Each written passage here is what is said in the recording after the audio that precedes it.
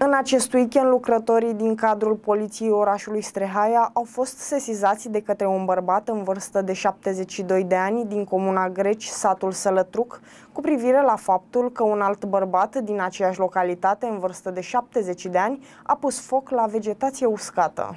Polițiștii au constatat faptul că din cauza vântului și vegetației uscate, focul s-a extins și la locuința unei femei în vârstă de 74 de ani din satul Sălătruc, dar și a locuințelor altor doi bărbați în vârstă de 23, respectiv 49 de ani din satul Bâltanele. În urma incendiului au fost distruse mai multe anexe gospodărești, două grajduri, un imobil de locuit și un autoturism. În data de 6 8 2021, lucrători din cadrul poliției orașului Strehaia au fost sesizați de către un bărbat în vârstă de 72 de ani din comuna Greci, satul Sălătruc, cu privire la faptul că un alt bărbat din aceeași localitate, în vârstă de 70 de ani, a pus foc la vegetația uscată.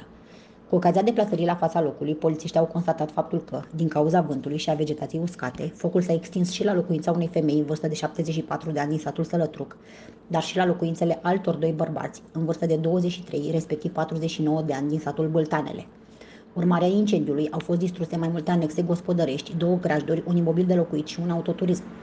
Un bărbat a fost extras din locuința în flăcări de către polițiști aflați la fața locului, întrucât era imobilizat la pat, acesta nu a suferit niciun fel de leziune.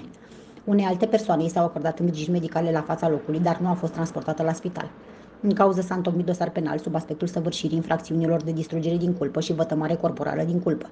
Totodată se continuă verificările pentru stabilirea cu exactitate a tuturor cauzelor și împrejurărilor care au condus la producerea evenimentului, urmând ca la finalizarea acestora să fie propuse măsurile legale. Un bărbat a fost extras din locuința la care s-a extins inițial incendiul de către organele de poliție ca urmare a faptului că era imobilizat la pat, fără ca acesta să sufere leziuni. Unei alte persoane i s-au acordat îngrijiri medicale la fața locului și nu a fost transportată la spital.